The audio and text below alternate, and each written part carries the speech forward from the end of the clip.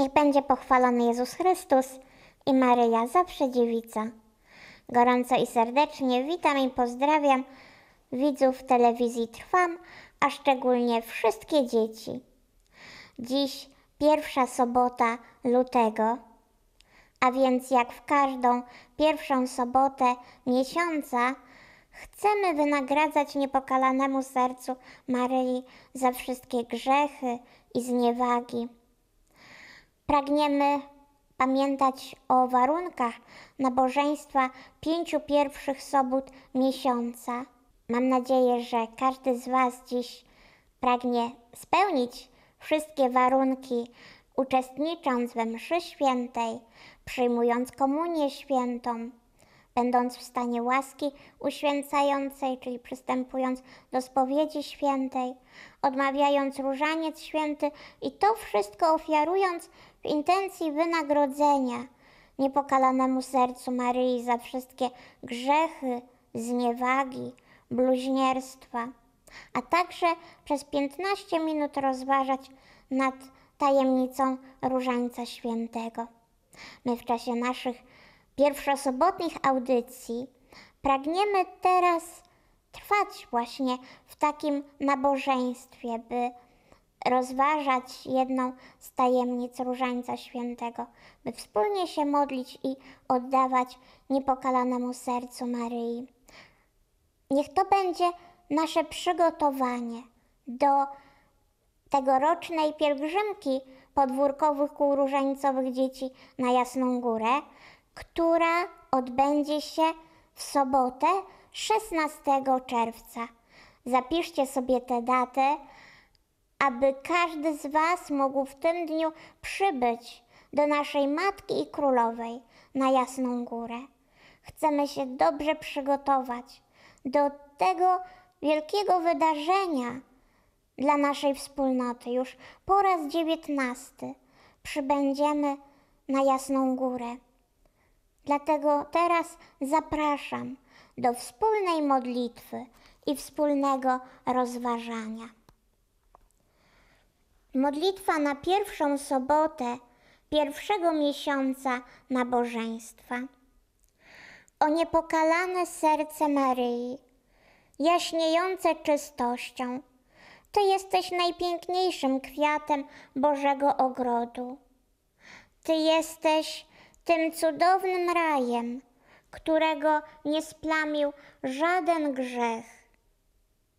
Udziel nam łaski, by za Twoim przykładem służyć Bogu sercem czystym i niesplamionym oraz ze wszystkich naszych sił. Amen. Tajemnica czwarta, radosna, ofiarowanie Pana Jezusa w świątyni. Maryjo, nasza Matko, Ty razem z Józefem ofiarowałaś małego Jezusa w świątyni Bogu Ojcu. Chciałaś w ten sposób wypełnić przepis prawa, ale to właśnie w tym momencie Symeon i Anna w maleńkim dziecku rozpoznali obiecanego Mesjasza, Zbawiciela świata. Jakie to było szczęście dla nich, jaka radość, że za swojego życia mogli dostąpić tak wielkiej łaski, doświadczyć wypełnienia Bożej obietnicy. Prosimy Cię, Maryjo, abyś każdego z nas ofiarowała Bogu Ojcu, tak jak ofiarowałaś małego Jezusa, abyśmy w całym naszym życiu pragnęli wypełniać wiernie Jego świętą wolę, żyć na Jego chwałę, aby Bóg był zawsze na pierwszym miejscu w naszym życiu i by we wszystkim był uwielbiony. A teraz oddajmy się niepokalanemu sercu Maryi. Najświętsza Maryjo Panno, Twemu niepokalanemu sercu powierzamy całe nasze życie.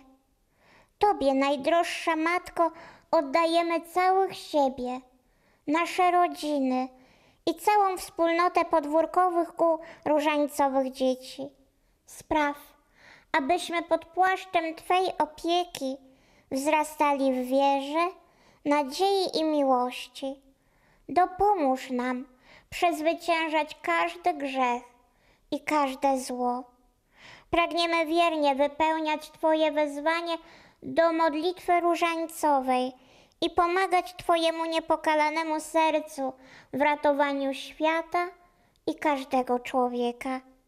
Prowadź nas, Matko, do Jezusa Chrystusa, naszego Pana i Króla, abyśmy ukochali Go ponad wszystko. Amen.